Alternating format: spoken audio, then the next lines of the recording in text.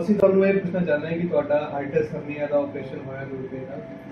ਅਹ ਕਾਫੀ ਲੋਕਾਂ ਨੂੰ ਹਾਈਟਸ ਹਰਨੀਆ ਹੈ ਹਰ ਇੱਕ ਨੂੰ ਸਰਜਰੀ ਵੀ ਨਹੀਂ ਐਡਵਾਈਸ ਕੀਤੀ ਜਾਂਦੀ ਪਰ ਜਿਹੜੇ ਲੋਕਾਂ ਨੂੰ ਅਸੀਂ ਆਪਰੇਸ਼ਨ ਐਡਵਾਈਸ ਕਰਦੇ ਹਾਂ ਉਹ ਵੀ ਕਾਫੀ ਡਰਦੇ ਆ ਕਿ ਬੜਾ ਮੇਜਰ ਸਰਜਰੀ ਹੈ। ਕਰਾਉਣ ਤੋਂ ਡਰਦੇ ਆ, ਕਾਫੀ ਦੇਰ ਇਸ ਤਰ੍ਹਾਂ ਹੀ ਕੱਢ ਦਿੰਦੇ ਆ ਤੁਹਾਡਾ ਕਿਸ ਤਰ੍ਹਾਂ ਐਕਸਪੀਰੀਅੰਸ ਰਿਹਾ? ਐਕਸਪੀਰੀਅੰਸ ਆ ਠੀਕ ਸੀਗਾ ਮੈਨੂੰ ਵੈਸੇ ਪ੍ਰੋਬਲਮ ਸੀਗੀ ਅਲਸਰ ਸੀ ਮੇਰੇ ਅਲਸਰਸ ਹੋ ਜਾਂਦੇ ਸੀਗੇ ਹੀਟ ਹੋ ਜਾਂਦੇ ਸੀ ਲੇਕਿਨ ਦੁਬਾਰਾ ਹੋ ਜਾਂਦੇ ਸੀ। ਬਿਕਾਜ਼ ਆਫ ਹਾਈਟਸ ਤੇ ਉਹਦੇ ਵਿੱਚ ਕੀ ਸੀਗਾ ਪ੍ਰੋਬਲਮ ਵੱਧਦੀ ਜਾ ਰਹੀ ਸੀਗੀ ਬਲੀਡਿੰਗ ਹੋ ਰਹੀ ਸੀ ਅੰਦਰ। ਤੇ ਬਟ ਹੁਣ ਆਪਰੇਟ ਕਰਵਾਇਆ ਤੁਸੀਂ ਸਲਾਹ ਦਿੱਤੀ ਸੀ ਕਿ ਆਪਰੇਟ ਕਰਵਾਓ ਉਹਦੇ ਨਾਲ ਬੈਟਰ ਫੀਲ ਹੋਏਗਾ ਆਪਰੇਟ ਕਰਵਾਇਆ ਠੀਕ ਹੈ ਨੋਰਮਲ ਹੈ। ਤੇ ਹੋਪ ਕਿ ਅੱਗੇ ਹਲਸਲ ਨਹੀਂ ਹੋਵੇ ਤੁਹਾਡੀ ਰਿਕਵਰੀ ਠੀਕ ਰਹੀ ਹੈ? ਰਿਕਵਰੀ ਮੇਰੀ ਬਹੁਤ ਵਧੀਆ ਰਹੀ ਹੈ। ਕਿ ਦਿਨ ਪਰ ਦਿਨ ਮਤਲਬ ਕਿ ਇੱਕਦਮ ਵਧੀਆ ਫੀਲ ਕਰ ਰਿਹਾ ਬੈਟਰ ਫੀਲ ਹੁਣ ਤੁਹਾਨੂੰ ਕਿੰਨੇ ਦਿਨ ਹੋ ਗਏ ਆਪਰੇਸ਼ਨ ਕਰਾਏ? ਮੈਨੂੰ 10 ਦਿਨ ਹੋ ਗਿਆ ਜੀ ਆਪਰੇਟ ਕੀਤੇ।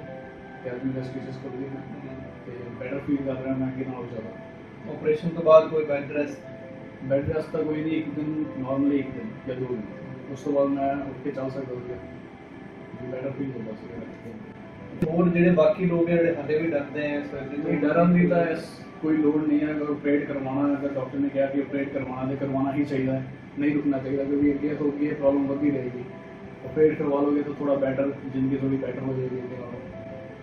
ਥੋੜੀ ਹੋ between laparoscopic surgery open surgery ਦਾ ਡਿਫਰੈਂਸ ਲੱਗਦਾ ਡਿਫਰੈਂਸ ਤਾਂ ਹੈ, ਜਿੱਦਾਂ ਹੁਣ ਮੇਰੇ ਕਈ ਜਗ੍ਹਾ ਤੇ ਚਲੋ, ਉਹ ਕੀਤੇ ਨੇ ਰੈਕਟ ਕੀਤੇ ਨੇ, ਤੇ ਬਟ ਉਹਦੇ ਨਾਲ ਬੈਟਰ ਫੀਲ ਮਤਲਬ ਕਰਦਾ ਕਿ ਬੰਦਾ ਜਲਦੀ ਉੱਠ ਸਕਦਾ ਸਰਜਰੀ ਤੋਂ ਬਾਅਦ। ਦੋ ਦਿਨ ਚ ਮੈਂ ਖੜਾ ਹੋ ਕੇ ਮਤਲਬ ਚੱਲ ਸਕਦਾ ਅਗਰ ਆਪਾਂ ਦੂਸਰਾ ਆਪਰੇਟ ਕਰਦੇ ਹਾਂ, ਤਾਂ ਮੇਬੀ ਮੇਰੇ ਖਿਆਲ ਨਾਲ 15 ਡੇਜ਼ ਆਪਾਂ ਬੈਡ ਰੈਸਟ ਤੇ